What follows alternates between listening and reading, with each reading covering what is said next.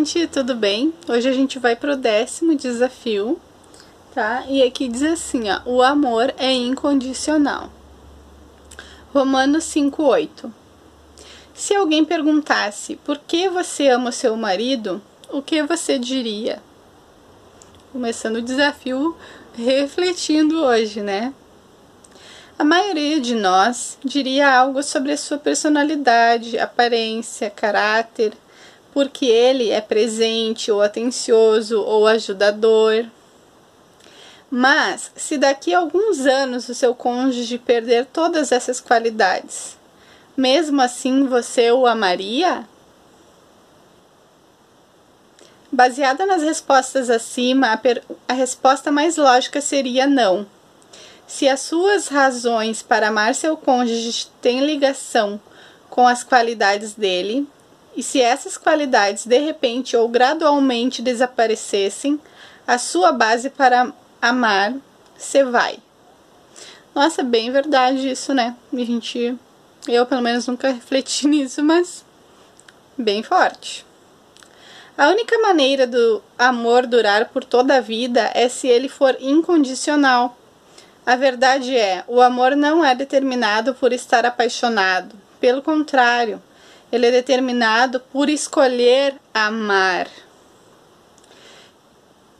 Quando eu vou tô, eu vou estar tá olhando para baixo, gente, porque eu tô lendo, tá? Quando a apre, apreciação um do outro como melhores amigos e como amantes é baseada em um compromisso inabalável, experimentamos uma intimidade que não pode ser adquirida é, de nenhuma outra forma. E não se surpreenda caso seu cônjuge comece a viver confiantemente à sombra desse amor, se ele se tornar ainda mais adorável com você. Você não dirá mais eu te amo, porque você dirá eu te amo e ponto final. Desafio de hoje. Faça algo. Desafio de hoje. Faça algo fora do normal para o seu cônjuge, algo que prove que seu amor é baseado em suas escolhas e em nada mais. Demonstre algum ato de amor pela simples alegria de serem parceiros no casamento.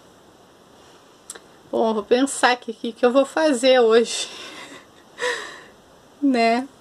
Mas depois eu digo para vocês no próximo desafio, tá bom? Vocês me contem aqui embaixo também nos comentários o que, que vocês estão fazendo aí pra gente trocar umas ideias, tá bom? Então esse foi o vídeo de hoje, espero que vocês tenham gostado. Um beijão e até o próximo vídeo. Tchau!